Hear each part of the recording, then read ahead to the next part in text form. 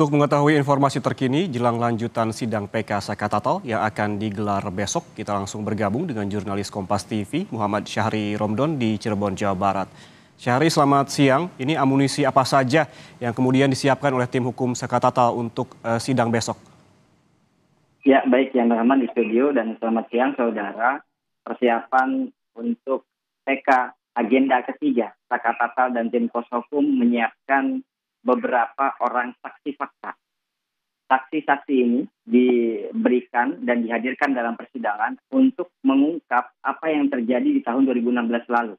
Bahkan Titin juga menyampaikan saksi yang akan dihadirkan ini akan menguatkan juga novum yang telah dia serahkan dan diserahkan oleh tim kuasa hukum ke majelis hakim sebagai bahan pertimbangan dan mem mem memastikan bahwa Sakatatal tidak terlibat adanya kejadian tersebut. Bahkan si tim bersama tim kuasa hukum lainnya juga menyatakan beberapa bukti foto lainnya yang memberikan kesimpulan terdapat beberapa kerusakan-kerusakan di sepeda motor di bagian kanan bodi, di bagian shockmaker, dan juga beberapa bagian lain dengan menyimpulkan bahwa kecelakaan tunggal.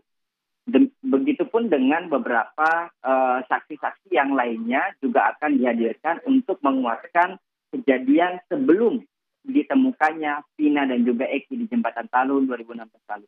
Amunisi-amunisi inilah yang akan disiapkan tim kuasa hukum Sakatatal untuk menjalani agenda ketiga dengan menghadirkan beberapa saksi yang akan berlangsung pada uh, besok Selasa 30 Juli di Pengadilan Negeri Kota Cirebon. Ya, sejumlah saksi akan dihadirkan yang menguatkan novum dan juga mengetahui kronologi saat kejadian.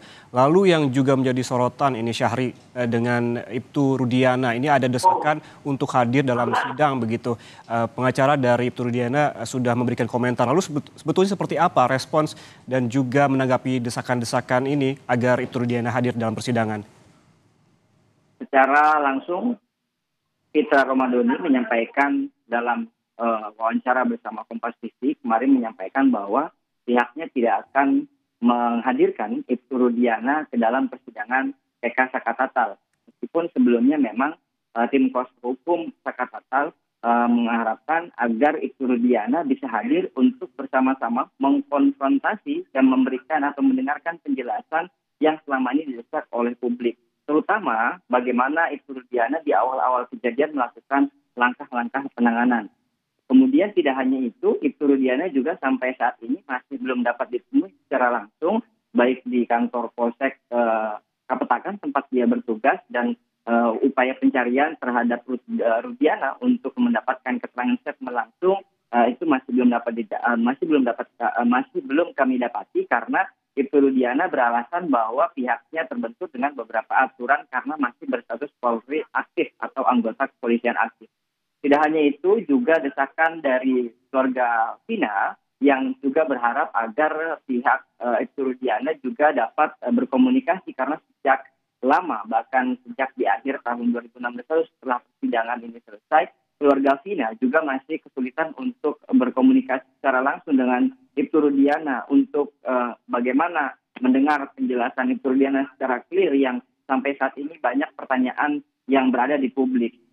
Uh, Peter Romadiri juga uh, tim kuasa hukum Ibtu Rudiana akan uh, memberikan uh, memberikan penjelasan bahwa uh, Ibtu Rudiana telah menjalani uh, prosedur uh, penanganan di tahun 2016 lalu uh, dengan baik dan uh, yang perlu dipahami menurut kita juga Ibtu Rudiana sebagai korban sehingga akhirnya uh, perlu memberi, mendapatkan rasa keadilan yang sama dengan uh, keluarga Vina karena sama-sama uh, anggota keluarganya kehilangan.